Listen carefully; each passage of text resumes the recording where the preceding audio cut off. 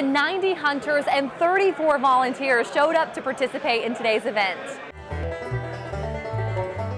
Decked out in camouflage from head to wheel, Daryl Gray grew up hunting, surviving Vietnam, then injuring his spine during a military training exercise. Then after I got injured and everything, I thought, oh well, that's out the door now.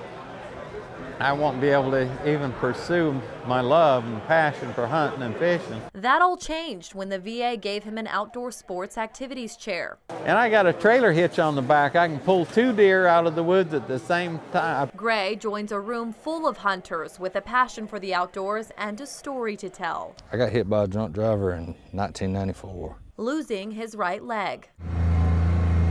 I had anger for a little while and then I just cope with it and moved on. I mean, I ain't gonna let my disability get me down.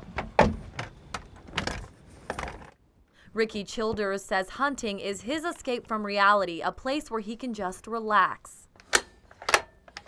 You gotta do it easy and quiet. SCDNR wildlife biologist Mark Carroll says an event like this requires several volunteers. Volunteers will get them in trucks and on trailers and four-wheelers and ATVs and carry them out to their hunt sites um, and put them in ground blinds. As opposed to traditional deer stands. Carroll says the adaptive hunt attracts people from as far away as Alabama and Virginia ready to take aim, regardless of their limitations. It's not just a hunt, it's a camaraderie. DNR will host a hunt next weekend for Newberry and Laurens counties. That's going to be at the Clinton National Guard Armory.